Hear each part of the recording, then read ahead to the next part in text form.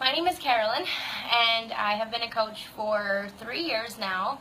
I never in a million years thought I'd be doing something like this. Um, I went to school to be a teacher, and I always thought that I was just going to be a kindergarten teacher or first grade teacher, elementary school, and I would just work and go to work in the morning, come home at night, and then be home with my family, and then do it all over again every day, and that that was going to be my life. But as I started to grow up and I started to experience more things, I realized that that's not the kind of life I want to live. I actually want to, you know, like do stuff besides work. so I kind of fell into this coaching thing by accident. I was at a point in my life where I was supposed to be really happy. And I don't know if you've ever felt that way or you felt those feelings before, but I was at a point where I just graduated college, so I should have been the happiest in my life. I was graduating, I got my degree, I was starting my adult life, I was getting away from all of the negative roommates that I had, and all of that trouble was in the past.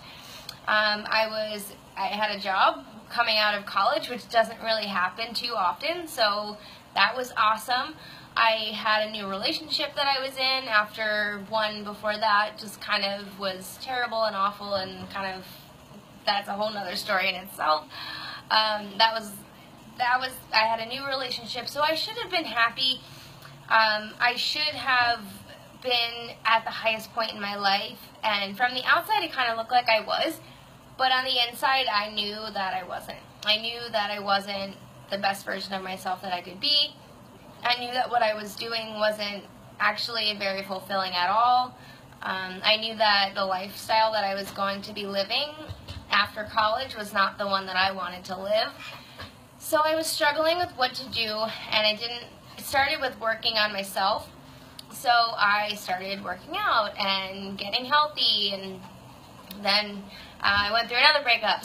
So that was tough. But I turned to fitness immediately after relationships went down, I always turned to fitness and working on myself.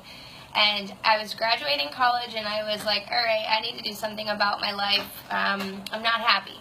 So I did a program. I committed to doing a three-week program. I got awesome results with it. Started eating better. Felt amazing. People started noticing changes in me, not just physically, but mentally and emotionally as well and I, for once in my life, felt really good about myself. So I started my teaching job, and it was okay. It wasn't exactly what I thought it was going to be, unfortunately.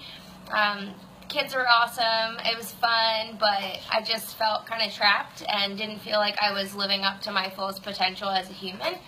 So I decided to, at first I decided I'm going to be a coach just because I love this amazing shake and I don't want to pay full price for it, so I want the discount.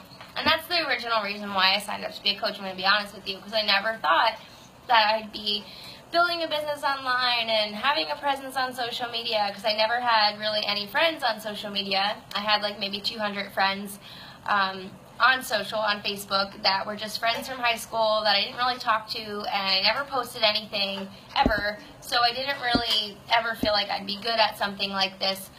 Um, so I decided I was going to do it for the discount, and then I had a couple people asking me, oh, sorry, I'm sweating. I'm on the porch.